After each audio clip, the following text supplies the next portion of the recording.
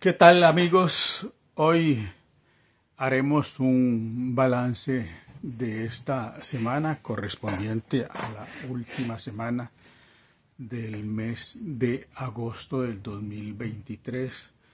Veremos algunas de las este, principales actividades que ha desarrollado eh, nuestro presidente y este, su gabinete, su, su equipo de, de, gobierno. Cuando uno, digamos, hace, hace un recuento semanal, se percata de la capacidad de trabajo impresionante que ha mostrado el gabinete y el presidente. Que se puede ver no solo en obras, ¿verdad? Porque podemos decir eh, que se ha hecho, es decir, podemos dar obras concretas, dar hechos que, que muestran lo que estamos eh, diciendo, que nos respaldan en, en, la, en la exposición. Pero sabemos que para concretar esas eh, obras, esos compromisos con el pueblo de Costa Rica, se requiere de voluntad, de, bueno, primero que todo, de tener claro el, proyecto político, ¿verdad? Es decir, qué, es lo que se quiere eh, como, como acción política. Todo eso requiere necesariamente inteligencia, coordinación,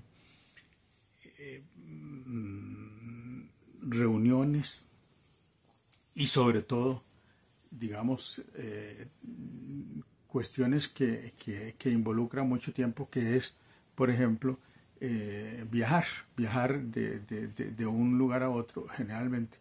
A veces tenemos que este, eh, organizarnos para que el tiempo, digamos, no pueda transcurrir mm, solo en lectura, por ejemplo sino que pueda ser mm, también aprovechado en reuniones. En otros países es mucho más fácil por la distancia, porque entonces se toma un, vuelo y en el vuelo se pueden hacer este, reuniones de trabajo, ir afinando detalles. En Costa Rica, por, por, por la distancia, es, es, complicado, es complicado, aparte de la peligrosidad de nuestras rutas, ¿verdad? Un, país, este, digamos, con un sistema montañoso que nos divide, digamos, en, dos vertientes, la vertiente caribe y la vertiente del Pacífico. Entonces, eh, ir de una vertiente a otra este, es, es, complejo, hay que ir manejando con, con mucha, mucha atención mucho cuidado. Entonces, eh, digamos ahí que en, el tiempo de transportarse a veces no se aprovecha tanto para, poder eh, eh, trabajar. Pero bueno, la, la, idea central es que el presidente y su gabinete trabajan mucho juntos, cada vez más coordinadamente, cada vez se van focalizando mucho mejor, digamos, un, equipo de trabajo eh, que se va este, consolidando y que nos va dando la certeza de que vamos por buen rumbo. Esta ha sido una semana como tantas otras llenas de muchas actividades, ¿verdad? Llenas de muchas actividades en cada uno de los ministerios. Incluso esa podría ser hasta una metodología, ir entregando, digamos, que hizo tal o cual ministerio, tal o cual, digamos, presidencia ejecutiva.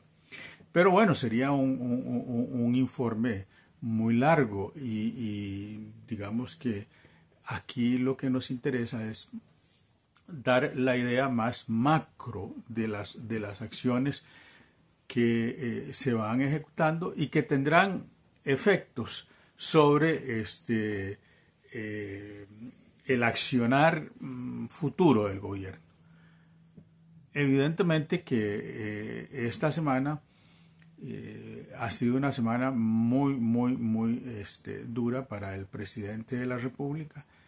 Un viaje internacional, un, un, viaje significativo para Costa Rica como país, para la economía como un eje fundamental de la, de la vida económica de cualquier país y para el presidente en términos de consolidar su liderazgo latinoamericano.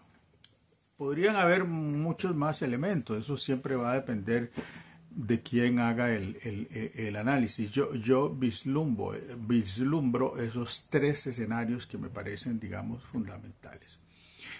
La, la reunión en la Casa Blanca no solo, digamos, desde el punto de vista de lo que representan los Estados Unidos dentro de la economía mundial, sino en términos de lo que ha representado los Estados Unidos para América Latina y para Centroamérica. Y, y, y, voy a hacer una afirmación. Yo creo que es la primera vez que un mandatario costarricense se sienta con mucha dignidad al lado del presidente de los Estados Unidos. No solo porque hay factores que los unen, digamos que es poderse comunicar bien en, inglés. Otros presidentes lo, lo, lo, han hecho, pueden hablar inglés este, fluido, porque han estudiado este, en, en países donde es la, la, la lengua, digamos, que, que comunica a los pueblos, en Inglaterra o pudiera ser en los mismos Estados Unidos. Pero bueno, este Rodrigo es, digamos, un, un, un, tiene un manejo eh, exquisito de la, de la lengua. Es un hombre que habla en, un tono fuerte de voz, que, se escucha, digamos, eh, su voz se hace escuchar, ¿verdad? No, no, no hay que aproximar el oído, porque, por, porque lo que él dice es, este,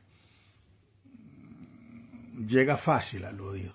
Pero además porque tiene, digamos, un, una muy buena estrategia de comunicación. Ya su personalidad está configurada para un lenguaje que es muy este, fácil de entender, siendo que pudiera decir estar, eh, pudiera hacer estar eh, eh, o, o, decir cosas profundas. Porque, digamos, para ir a reunirse con el presidente de los Estados Unidos, usted no va a ir a decir banalidades. O como dijo él, yo no quiero traerme una lista de regalos, quiero dejar una lista de inquietudes. Es una estrategia totalmente distinta, ¿verdad? ¿Por qué? Bueno, porque muchas veces sucede entre comillas, con eso que llamamos países del tercer mundo, porque ya eh, esto de terceros y, y, esas categorías, ¿verdad? De primer mundo mm, y luego de tercer mundo, pues no, no, nunca se habló de segundo mundo, ¿verdad?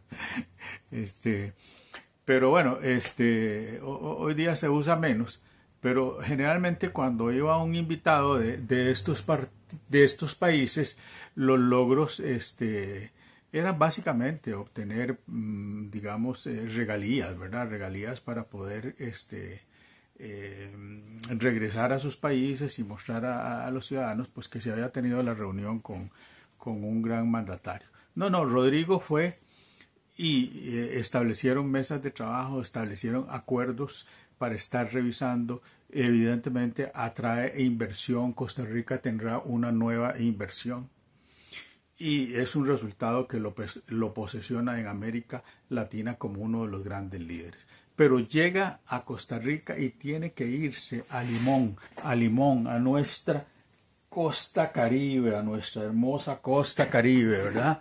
Aquí una costa, aquí que lo vemos, ¿verdad? Aquí está la cordillera, aquí toda la, la, la, planicie, ¿verdad? Que va desde la, la, zona norte hasta acá, toda esta zona, ¿verdad? Una zona muy rica de Costa Rica, una zona muy rica, históricamente muy significativa, en donde el presidente todavía hoy día está en, en actividades y entonces eso nos permite poder decir que la próxima semana vamos a seguir hablando, digamos, de este, las acciones que el gobierno está emprendiendo en Limón.